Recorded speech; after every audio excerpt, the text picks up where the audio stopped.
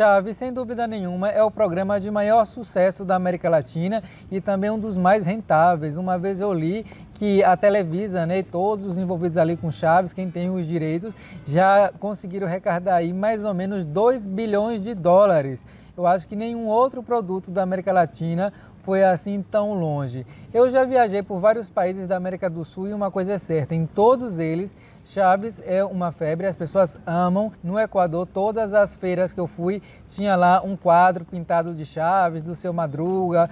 Em Bogotá, então, lá na Colômbia, nossa, o povo é muito, mas muito fã. Em todo lugar por Bogotá tem também as camisas do seu Madruga, que eu acho que é o personagem mais amado lá na Colômbia. E nessas camisas tem também as frases mais icônicas do seu Madruga. Inclusive, tem uma frase que todo mundo que vem aqui no canal e vê os meus vídeos falando né, sobre os artistas mexicanos sempre tem uma pessoa que comenta embaixo: atores vemos, costumes não sabemos. Eu acho que o seu Madruga disse isso no episódio em que teve o Hector Bonidia lá na vila. Uma vez, não lembro se foi na Argentina ou se foi no Uruguai, eu vi um menino pedindo esmola com a roupa do Chaves. Eu falei, nossa, que boa ideia. Olha, se você tem aí alguma pessoa na sua cidade que pede esmola, faça para ele uma roupa do Chaves ou então da Chiquinha e dê que com certeza ele vai conseguir muito mais dinheiro dessa maneira. É que a gente, é, nós temos assim uma conexão muito forte com o Chaves, que vem desde quando a gente é criança, mas também tem algumas coisas algum, que explicam o porquê que Chaves fez tanto e ainda faz tanto sucesso na América Latina. Então, nesse vídeo eu vou tentar explicar cientificamente, no sentido acadêmico da palavra, né, o porquê que o Chaves faz tanto sucesso. E mais para o final do vídeo eu vou contar aqui uma fofoca que me contaram envolvendo a dona Florinda e o Chaves. Quem foi que me contou? Foi assim algum jornalista? Não. Foi a mãe de uma amiga mexicana minha que trabalhava lá num lugar em que também estava a Florinda e o Chaves. E também vou comentar um pouco sobre essa brigaiada entre o Chaves e a Chiquinha com o Roberto Gomes Bolanhos, né? Que tiveram uma briga judicial de anos, porque cada um dizia que o personagem era seu. Não sei de qual lado você está, mas aqui depois eu vou dar também a minha opinião. E aproveitando, já se inscreva no canal já que está aqui. Para começar, vamos falar sobre o conceito. Um conceito que provavelmente ninguém nunca percebeu, mas que contribuiu muito para que Chaves seja todo esse sucesso.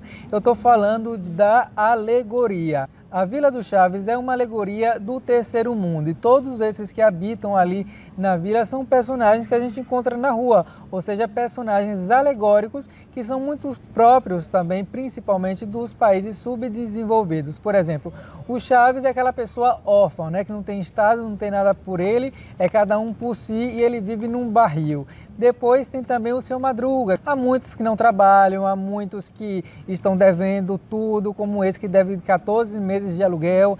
A vida do, do, do povo né, do terceiro mundo é justamente isso mesmo, dever dinheiro aos outros. Sempre tem uma dívida. Tem a dona Florinda, que é aquela pessoa, digamos assim, é, que é, é, não é multimilionária, mas tem mais dinheiro do que a maioria e só por isso já se acha melhor do que todo mundo e acha que todos o resto ali é gentalha. Provavelmente na sua cidade deve ter 300 pessoas como a dona Florinda. Então assim, a identificação que o Chaves causa em todos os países da América Latina é muito grande. Um segundo elemento que faz com que Chaves faça tanto sucesso é o texto. O texto do, do Roberto Gomes Bolanhos é muito bom. Por quê?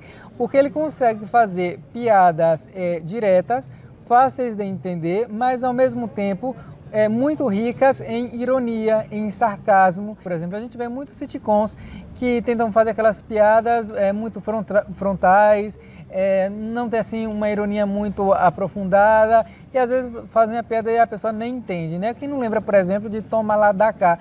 Toma Lá da Cá era uma série lá do Miguel Falabella na Globo que não era de todo ruim não, mas você dava para perceber quando eles faziam lá uma piada é, pra, na intenção de que o povo risse, então por isso fazia de uma maneira um pouco mais afetada, como a Celinha lá, quando, que fazia a Adriana Esteves, que eu acho uma ótima atriz, né? Mas quando ela dizia que estava nervosa, ela fazia assim com o coração, e você assiste aquilo e você fala, ah, ela está aí fazendo isso para gerar graça. No Chaves, não.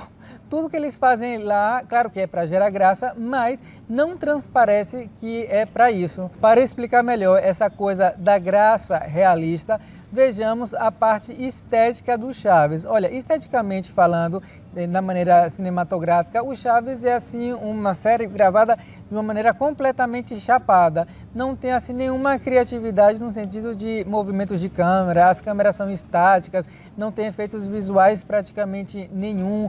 Porém, essa estética dessa maneira tão chapada é muito, mas muito naturalista. Então isso acabou contribuindo a favor do Chaves, porque veja bem, nós temos lá, nós temos lá alguns atores, né, já bastante velhos assim, fazendo personagens de criança. O Chaves é, é uma série que ela, que ela caminha muito bem entre o realismo mágico, ou seja, coisas assim mais surreais, como adultos que são crianças, com o neorrealismo italiano, que é aquele naturalismo, aquele, realismo de verdade, que você está assistindo parece que de fato é aquilo dali.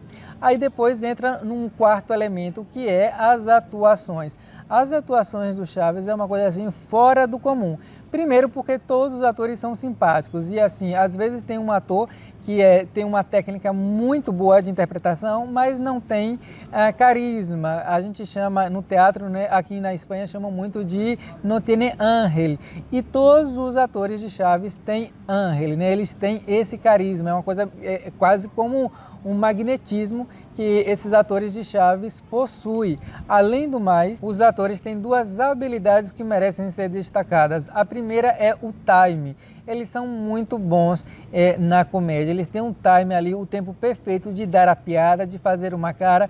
Por exemplo, você vê a cara do seu Madruga, você já, já quer dar risada. Às vezes o seu Madruga tá sério, não faz graça nenhuma, tá ali, mas só a cara do seu Madruga é, mexendo assim o pescoço, você já se poca de rir, já é engraçado. Isso se chama time. E também tem toda a questão da fisicalidade. Graças a todo esse talento de expressão corporal, é, o, o Gomes Roberto Bolanhos conseguiu introduzir no Chaves um uma, uma linguagem teatral que ca casou como uma luva, né? Você pode ver que tem muita coisa de circo, a maneira, por exemplo, quando o Chaves bate lá no seu é, Madruga e o Roberto Gomes conseguiu colocar toda essa linguagem é, circense engraçada de uma maneira muito bem selecionada, que nunca cai assim na patifaria. Há também um fator que a gente não pode esquecer, que é o prazer pela repetição.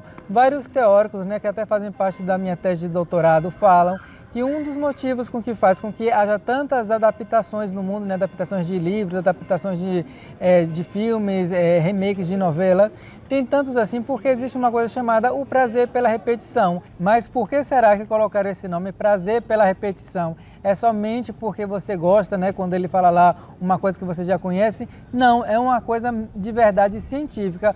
Porque como você espera que ele fale alguma coisa, no momento que ele fala, se ele fala com uma pequena diferença e você volta a rir, esse riso junto com a expectativa concluída, cumprida, né, que você esperava, acaba fazendo com que o cérebro jogue em você as, os hormônios da felicidade. Não sei se ficou bem explicado, mas vou tentar explicar com viagem. Quando você viaja e acorda no meio da viagem, você tem mais ou menos ali pensado o que você quer fazer naquele dia. E cada vez que você conclui de fazer uma das coisas que você tinha pensado, por exemplo, visitar um museu, fazer um tour, quando acaba isso que você tinha planejado ali, o cérebro lhe joga os hormônios da felicidade, serotonina e endorfina. Essa é a mesma coisa que acontece ao ver o Chaves. E para terminar, tem o fator do imaginário. É, Chaves já faz parte do imaginário da América Latina. Ao assistir o Chaves, é como se a gente estivesse ali sentindo né, aquela sensação de pertencimento. O ser humano quer se sentir dentro de alguma coisa, né, pertencer a algo e não um, uma pessoa excluída. Então, todos esses fatores aí contribuem muito para o sucesso de Chaves cientificamente. E agora, como eu havia comentado lá no início, eu vou contar aqui uma fofoca que me contou uma, a filha de uma mulher que trabalhava numa escola lá na cidade do México, isso na década de 70, final da década de 70. Ela contou para sua filha, que se chama Lupita, então se não for verdade, vá brigar com Lupita, não comigo, que eu estou aqui só reportando. É, ela contou né, para Lupita que quando ela trabalhava nessa escola de arte e música, dois alunos assim muito, mas muito ilustres eram precisamente o Roberto Gomes Bolanhos e a dona Florinda. Ele estudava lá sapateado e ela é, fazia umas aulas de é, ópera. Só que essa escola, né, que era presidida lá por uma mulher. O filho dela, que era argentino e bem bonito, acabava chamando muito a atenção da Florinda Messa, a dona Florinda, e que ela ficava paquerando esse homem todo o tempo, ia lá para a escola para ver se via ele, deu em cima dele e só não ficou com ele, segundo conta né, a, a mãe da minha colega, porque ele não quis. Eu acredito porque a mãe da Lupita não teria por que mentir. E aí entra naquela questão, né, do porquê que todo mundo odeia a Florinda Messa.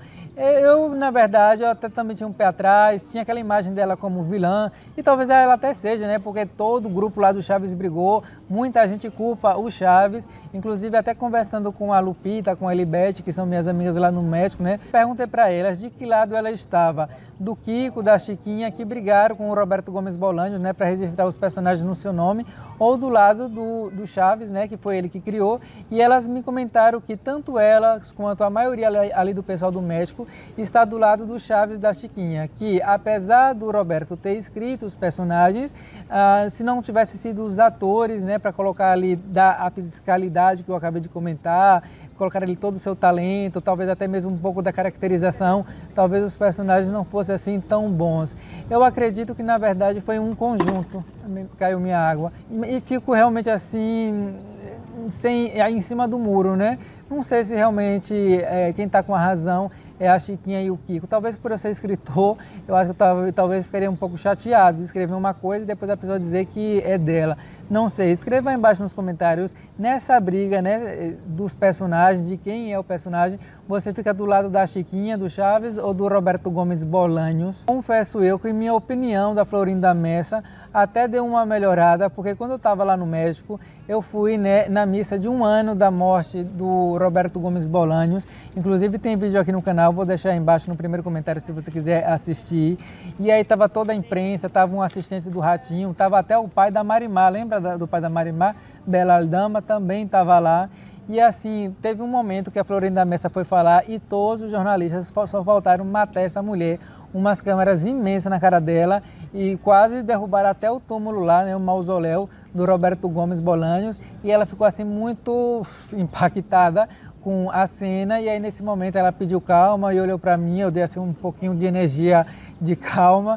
Então assim, pela cara dela e pela, e pela maneira como eu vi, né, como ela estava ali de fato, de corpo e mente e tudo, naquela missa, lembrando lá do seu marido, né, que, que morreu. Eu acho que apesar de todos esses problemas e, e apesar dessa história aí que contou a mãe da Lupita, acho que no final ela gostava dele sim, do jeito dela lá, né, desse jeito talvez um pouco autoritário que todos os fãs do Chaves acham, pelo menos a maioria, mas não sei, me simpatizei, ou talvez seja porque eu estava muito feliz de pelo menos ver uma pessoa é, da vila lá do Chaves, que foi como se eu tivesse entrado assim lá no mundo, no, no universo paralelo. Foi uma experiência assim bem legal ter visto a Florinda lá. Escreva aí nos comentários se você tem algum fator em mente que eu não falei aqui e que pode explicar o porquê que o Chaves fez tanto sucesso. Se inscreva no canal se não estiver inscrito, inscrita. E obrigado por acompanhar o vídeo até aqui ao final. Até o próximo. Acabou, Marginal.